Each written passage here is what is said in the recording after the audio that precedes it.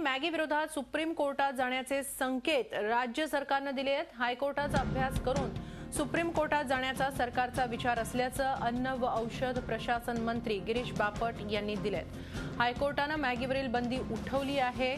सहा आठवड्यांनंतर मॅगी पुन्हा बाजारात येईल. मात्र तत्पूर्वी हायकोर्टाच्या निर्णयाचा अभ्यास करून या बंदीला आव्हान देण्याचा विचार राज्य सरकार करत असल्याची माहिती तसेच संकेत अन्न व औषध प्रशासन मंत्री गिरीश बापट यांच्याकडून मिळत आहेत. मॅगीविरोधात राज्य सरकार सुप्रीम कोर्टात जाऊ शकतं.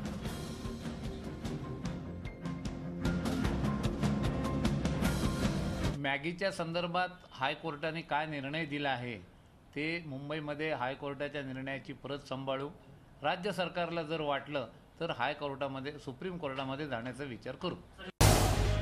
झी चोवीस तास रहा एक पाऊल पुढे.